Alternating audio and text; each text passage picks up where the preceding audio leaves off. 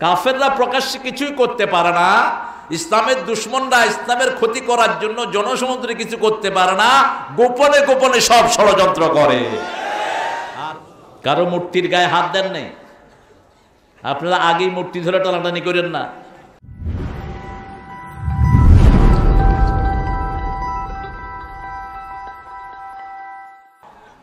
শাহাদাতের মৃত্যু যে চায় না সে মুনাফেক।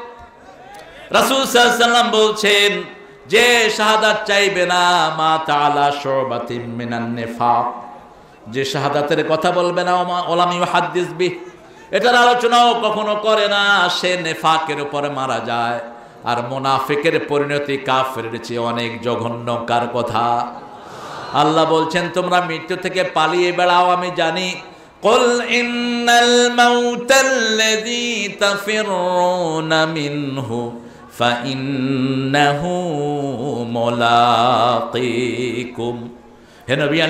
আপনি বলে দেন, মৃত্যু থেকে যতই তোমরা পালিয়ে বেড়াও, মৃত্যুর সাথে তোমাদের মোলাকাত হয়ে যাবে। মোলাকাত কি সামনে হয় না পিছনে হয়? মোমেন করে মোলাকাত, আর কাফের করে খেলাওয়াত। খেলোয়াত মানে হলো গোপনে কোনো ষড়যন্ত্র করা যেমন স্বামী স্ত্রীর সাথে গোপন যেই অবস্থানটা করে এটার আরবি নাম কি খেলাওয়াত অর্থাৎ একান্তবাস কাফেররা প্রকাশ্যে কিছুই করতে পারে না ইসলামের দুশ্মনরা ইসলামের ক্ষতি করার জন্য জনসমুদ্রে কিছু করতে পারে না গোপনে গোপনে সব ষড়যন্ত্র করে আর মোমেনরা সব ওপেন করে কার কথা وإذا لقوا الذين آمنوا قالوا آمنا وإذا خلوا إلى شياطينهم قالوا إنا معكم إنما نحن مستهزئون যখন মোমেনদের সাথে তাদের মোলাকাত হয় তখন বলে আমরা তোমাদের সাথেই আছি আর তারা যখন গোপনে গোপনে একত্রিত হয় তখন বলে মোমেনদের সাথে একটু ঠাট্টা বিদ্রুপ করছি টুপিওয়ালা, দাড়িওয়ালাদের সাথে একটু ঠাট্টা বিদ্রুপ করছি। আল্লাহ বলেন, শুনো, আল্লাহু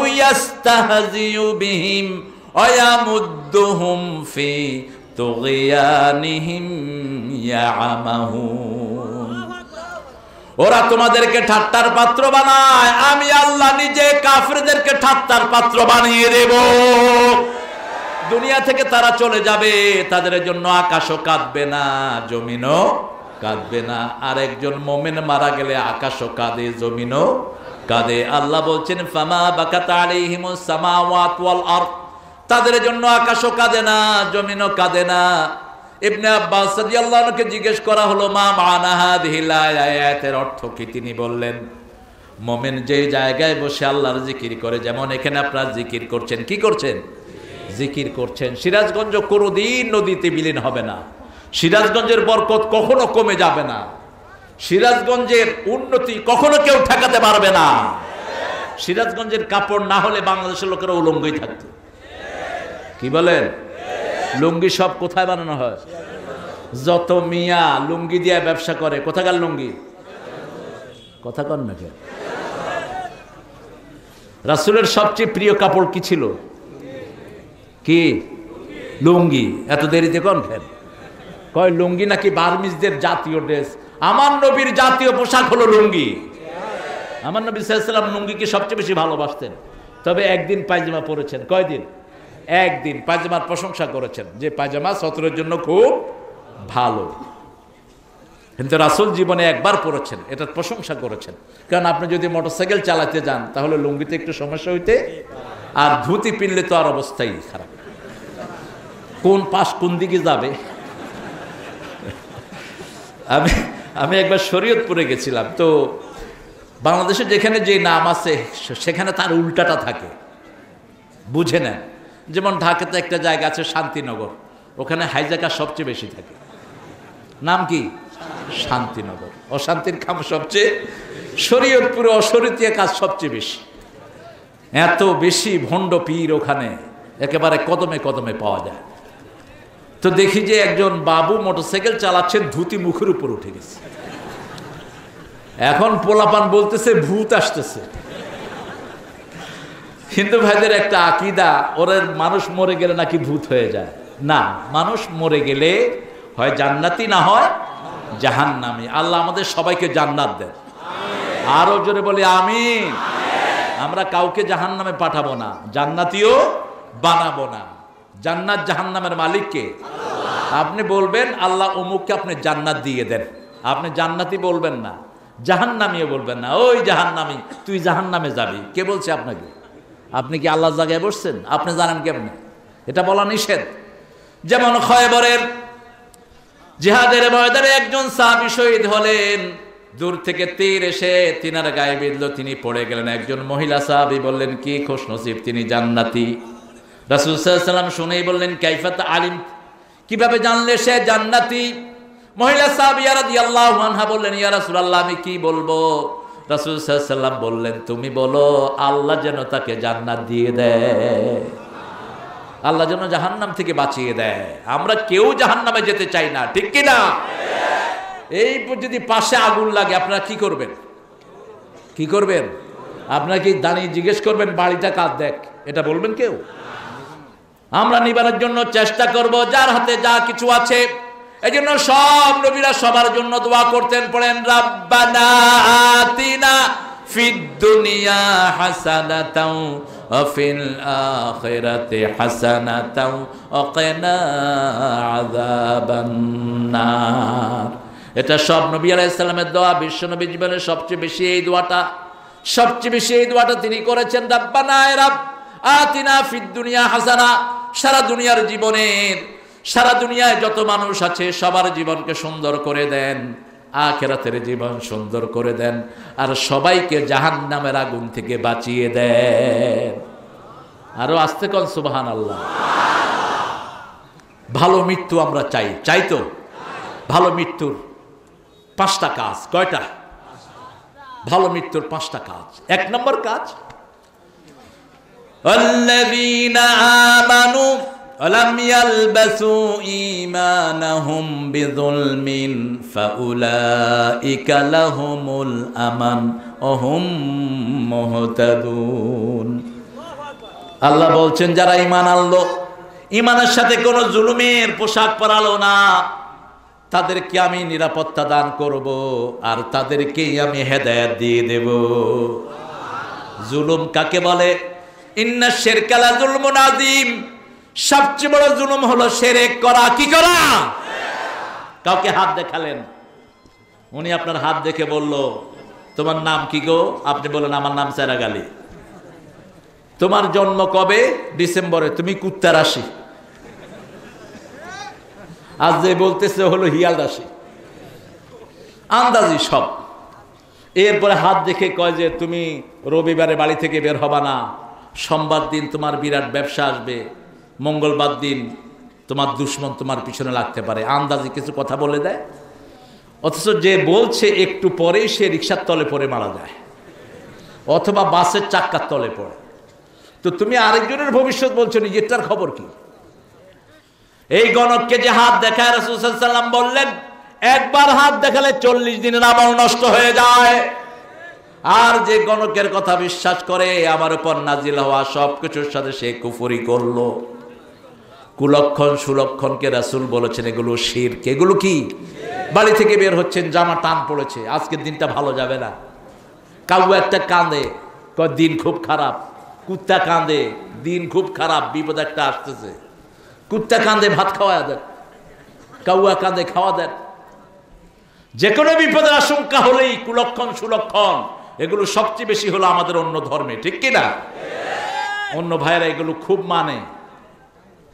রসুলাম বলেছেন এই কুলক্ষণ সুলক্ষণ আর তিয়ারা মিনা শের এই কুলক্ষণ সুলক্ষণ যারা মানে তারা মুশরিক তারা সেরেক করে। আল্লাহ ছাড়া অন্য কারও নামে শপথ করা মাথার কসম খাওয়ার কসম বিবির কসম শরীরের কসম আল্লাহ ছাড়া যে কসম কালে সে সেরেক করল। মান আহলাফা বেগাইরিল্লাহি ফাকাদ আশরাক। রাসূল বলেছেন, আল্লাহ ছাড়া যে কসম কাড়বে, সে সেরেক করল। আল্লাহ আমাদেরকে হেফাজত করেন। চাইতে হবে কার কাছে? কেউ ফেরেন না খালি হাতে। এই তো, আলহামদুলিল্লাহ। কত সুন্দর আকিদা। আমরা খাজা মনুদ্দিন চিস্তিকে কত গুণাগার বানিয়েছি। কেউ ফিরে না, খালি হাতে খাজা তোমার দরবারে। আরে খাজা সাহেব, নিজে চাইতে চাইতে তো মনিদ্দিন চিস্তি রহমতুল্লাহ আলাই ভারতে চলে আসছেন আল্লাহর কাছে চাইতে চাইতে, ঠিক কি না ভারতে এসেছেন কেন? জিহাদ করার জন্য। শাহজালাল রহমতুল্লাহ আসলেন বাংলাদেশে, খাজা মনিদ্দিন চিস্তি রহমতুল্লাহ আসলেন ভারতে। এরা সমসাময়িক এসেছেন। এসে এদেশে প্রচার করেছেন, লা ইলাহা কারও মূর্তির গায়ে হাত দেন নেই? আপনারা আগেই মূর্তি ধরে টানাটানি করেন না। ইব্রাহিম আলাইসাল্লামের ঘরে মূর্তি ছিল, তিনি ভেঙেছেন। তাতে কোনো অসুবিধা? নাই। আপনার ঘরেরটা আপনি ভাঙেন। কিন্তু বাহিরের মূর্তির গায়ে রাসুলও কখনো হাত? কথা কন না কেন? রাসুল নবী হওয়ার পর তেরো বছর মক্কায় ছিলেন। এরপরে যখন মদিনায় গেলেন, এই মক্কার দিকে ফিরে নামাজ পড়লেন, মক্কার ভিতরে কয়টা মূর্তি ছিল? তিনশো ষাটটি মূর্তি। মূর্তি আগে এখান থেকে উপড়াতে হবে, তারপরে বাহির থেকে ঠিক যাবে ঠিক রাসুল সাল্লাহ সাল্লাম যখন ফতে মক্কায় অষ্টম হিজড়িতে ঢুকলেন, তখন কাবাগরের ভিতরে ঢুকলেন, ঢুকে একটা একটা করে মূর্তির মাথায় বাড়ি মেরেছেন আর বলেছেন, কল জা আল হক ওয়া জাহাকাল বাতিল, ইন্নাল বাতিলা কানা জাহুকা বলো, সত্য সমাগত, মিথ্যা অপসৃত, মিথ্যা অপসারণ হবেই। এই পৃথিবী তৌহিদের পৃথিবী, এই পৃথিবী শেরকের পৃথিবী নয়। এই পৃথিবীর ভিত্তি হলো তৌহিদের উপর লা ইলাহা ইল্লাল্লাহু মুহাম্মাদুর রাসূলের তরিকে আমরা চলবো। রাজি আছি তো? রাজি আছি তো? সারা পৃথিবীর কোথাও কোনো জায়গায় সেরেক আমরা বরদাস্ত করব। কারণ আমাদের মূল শিক্ষাই হলো অমা আনা মিনাল মুশরিকি, সেরেকের সাথে আমার কোনো সম্পর্ক প্রথম মৃত্যু, সুন্দর মৃত্যুর একমাত্র উপায় হলো লা ইলাহা ইল্লাল্লাহ। এজন্য রাসূল সাল্লাল্লাহু বলেছেন, এমন একটা সময় আসবে, আগুনের টুকরা হাতে রাখা যেরকম কঠিন ইমান সঙ্গে রাখা এরকম কঠিন হয়ে যাবে।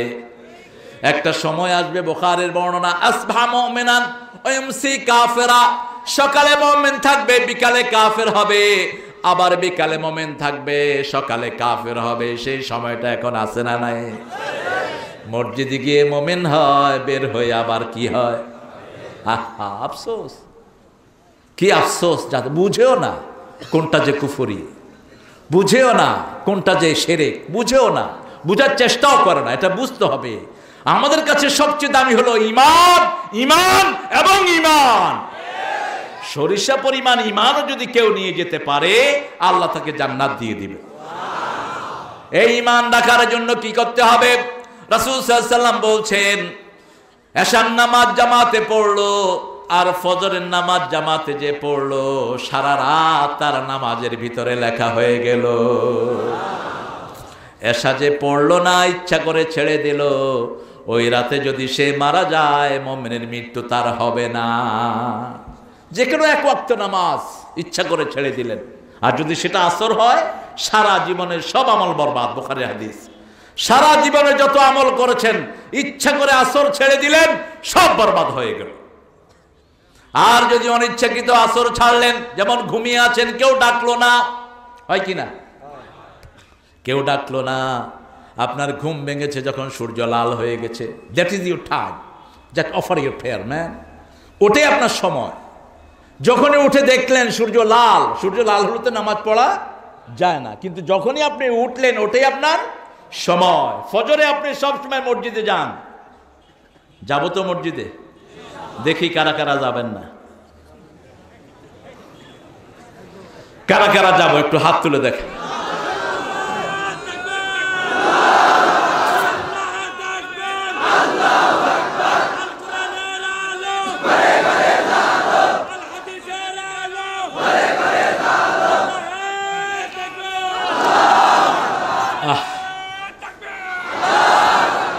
এই হাতগুলো কবুল করেন। আল্লাহ আমার মাদেরকে কবুল করেন। আমার অন্য সম্প্রদায়ের ভাই বোনদেরকে কবুল করেন। আহারে, এতগুলো মানুষ যদি ফজরে যায়, ওখানে যে বরকত কি হারে নাজিল হবে? নামাজের প্রাণ হলো ফজর। নামাজের প্রাণ কি? ফজর। একই আয়াতে দুইবার আল্লাহ ফজরের কথা বলেছেন। আবার ফজর নামে একটা সূরা নাজিল করেছেন। দুই নামাজের দাম আল্লাহর কাছে সবচেয়ে বেশি। ওই দুই নামাজের নামে দুইটা সূরা আছে না নাই? ফজর আর কোনটা? আসর। ফজরের নামে সুরাটা লম্বা, এই জন্য লম্বা কেরাত বিশ্বনবী ফজরে পড়তেন। ফজরের বরকত বেশি, ফজরে যারা লম্বা সুরা পড়ে এদের রোগ হয় না। ফজরে যারা লম্বা সুরা পড়ে, সব রকমের রহমত আল্লাহ তাদেরকে দান করে দেয়। ফজরে যারা লম্বা সুরা পড়ে, তারা কোনো মহামারীতে ভোগে না।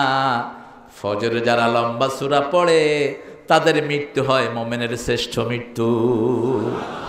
রাসুল বলছেন, বুখারির বর্ণনা মুসলিম বুখারি।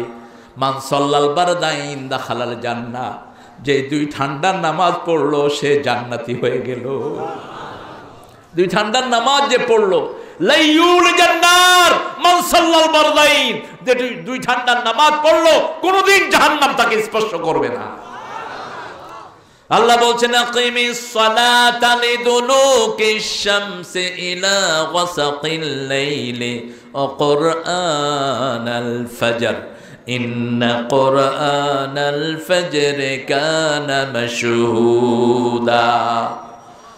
সূর্য উদয় থেকে নিয়ে, উদয়ের আগ থেকে নিয়ে, অস্ত যাওয়ার পর পর্যন্ত নামাজ কায়েম করো, ফজরের কোরআন পড়ো। ফজরের কোরআন তোমাদের জন্য কেয়ামতে সাক্ষী হয়ে যাবে। কোরআন সাক্ষী হবে। কোরআন আপনাকে না চিনলে রাসুলও চিনবেন না। কোরআন না চিনলে কোন নবী আলাইসালাম চিনবেন না। কোরআন সুপারিশ না করলে কেউ সুপারিশ করবে না? কোরআন আসামি বানাবে। কোরআন বলবে, রব্বে, ইত্তাখাযা কোরআন মাহজুরা। ইন্না কওমি ইত্তাখাযা কোরআন মাহজুরা। হে আল্লাহ আমার এই কাম কোরআনকে নিয়ে ঠাট্টা করেছে, বিদ্রুপ করেছে, কোরআন দিয়ে প্রোগ্রাম শুরু করেছে, কিন্তু কোরআনের কোনো কথা প্রোগ্রামে মানে নাই। ঘরে কোরআন পড়তো, নামাজে পড়তো, বাইরে এসে কোরআনের সাথে কোনো সম্পর্ক যেমন আমরা কোরআনের ভিতরে পড়ি, ইন্নামাল খামরু ওয়াল মাইসির ওয়াল আনসাব ওয়াল আজলামু রিজুম মিন আমালি শাইতান ফাজতানিবুহু লাআল্লাকুম তুফলিহুন। নিশ্চয় মদ, জুয়া, আপনাদের এখানে আছে না নাই? হ্যাঁ?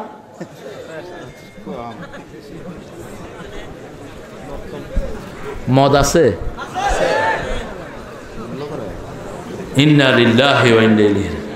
তা আপনারা এই- মদ আসলো কেমনে? দুধের ভিতরে মদ আসলো কেমনে বলুন তো? ভালোর ভিতরে মন্দ আছে এই একটা কথা কয়েছেন গো ভাই। হা হারে মদ যারা খায়, এই মদ্দা অবস্থায় যদি মারা যায়, ওর মৌত হয় মুশরিকের মৌত। একদম সোজা জাহান না এক ঢোক মদ যে খায়, চল্লিশ দিনের আবাদত বরবাদ। কেন চল্লিশ দিন? আজকে ডাক্তাররা বলছে, যেমন এই যে আমি কি খাচ্ছি এটা? চা না কি দিচ্ছে এটা? না, এটা চায়ের রঙও নাই, কিছুই নেই। যাক, লেবুর পানি বোধ হয় তো এক ঢোক খেলেন, এটার এফেক্টটা সারা শরীরে চল্লিশ দিন থাকে। এক লোকমা খাবার ফেলে, ওটার রেস্টটা সারা শরীরে চল্লিশ দিন থাকে। এই জন্য রাসুল সাল্লাম বলছেন, এক লোকমা যে হারাম খায় চল্লিশ দিনের বাবদ তার বরবাদ হয়ে যায়। কিন্তু যদি ভিতরে না যায়, তাহলে ঠিক আছে। যেমন আবু বকর রাদিয়াল্লাহু একজন গোলাম ছিলেন, আজাদ করে দিলেন, তার ঘরে গিয়ে প্রায়শ তিনি খেতেন। বোখারি থেকে বলছি খাওয়ার আগে জিজ্ঞেস করতেন, তুমি এই রিজিকটা কীভাবে এনেছো? তিনি বলতেন, তারপরে খেতেন। আজকে পেটে ক্ষুধা ছিল, বেশি গিয়েই খাওয়া শুরু করেছেন। মুখে দিলেন, এখনও গিলেন নাই। অথবা একটু একটু পানি গেল। এই অবস্থায় জিজ্ঞেস করলেন, এই খাওয়াটা কিসের পয়সা দিয়ে কিনেছো? তিনার গোলাম বললেন, আমি আইয়ামে জাহেলিয়াতের সময় হাত দেখা পয়সা নিতাম। একজনের কাছে পয়সা বাকি ছিল, সেই পয়সা দিয়ে আমি খাওয়ার কিনেছি। হালাল না হারাম? এই তো বুঝেছি। হালাল না হারাম? তিনি খাওয়া উগলে দিলেন, বমি করলেন, মুখের ভিতরে আঙ্গুল দিয়ে লালা ফেললেন, রক্ত পর্যন্ত বের করে দিলেন। রাসুল কাছে গিয়ে বলেন, ইয়া রাসুল আল্লাহ সাল্লাম আমি যেটা একটু খেয়ে ফেলেছি, আমার কি অবস্থা হবে? রাসুল বললেন, খাওয়ার আগেই তো তুমি বমি করে ফেলে দিয়েছ, খাওয়া ভিতরে যায়নি, আল্লাহ তোমারে মাফ করে দিবেন। আপনি কোনো খাওয়া যদি অগোচরে খেয়ে ফেলেন জানলেন না হালাল কি হারাম। সাথে সাথে কোন আলেমের কাছে যান, হক্কানি আলেম। হক্কানি আলেম আর হলো হুক্কুনি আলেম বুঝেন কথা? একটা হলো হক্কানি আর একটা হুক্কুনি। শকুনি বেশি। শকুন শকুন। শকুন চিনেন তো? শকুনে কি খায় মরা গরু খায় কিছু আলেম আছে, পয়সা খায় পয়সা খোর যেগুলো আলেম, এগুলো আলেম এগুলো পান্ডা পয়সায় বিক্রি হও। পয়সায় ফতুয়া দাও। পয়সায় যারা বিক্রি হয়, এদের মৌত মোমেনের মৌত হবে না। অত্যন্ত কঠিন। আব্দুল কাদের জিলানি রহমতুল্লাহ আলাইকে ওনার বাগদাদের প্রেসিডেন্ট পাঁচবার খবর দিলেন, একবারও তিনি গেলেন না। কোন দুনিয়াদার নেতা যদি খবর দেয় যে বেনামাজি, তার ডাকে সাড়া দিবেন না। যত পয়সা আমার মালিক হও তুমি, কারণের চেয়ে তোমার পয়সা বেশি হয়নি। কত পয়সার মালিক হয়েছ তুমি? আমার কাছে বিভিন্ন মাহফিল থেকে লোকেরা আসে, কয় যে, হুজুর, খুব পয়সার মালিক। হ্যাঁ কি হয়েছে তাতে আমার? পয়সার মালিক দিয়ে আমি করব কি? অধিকাংশ পয়সা আলাগুলো কিপটা হয়। অধিকাংশ পয়সা আলাগুলো বিভিন্ন বাজে কিসিমের হয়। গরিবের মন সুন্দর, গরিবরা তাড়াতাড়ি জান্নাতেও যাবে। পয়সালাদের পাঁচশো বছর আগে গরিবেরা জান্নাতে গিয়ে বসে থাকবে। রাসুলাম গরিব হয়ে গর্ব করতেন। আল ফকর ফখরি, দরিদ্রতা আমার গর্ব, দরিদ্র হয়ে আমি গর্ববোধ করি।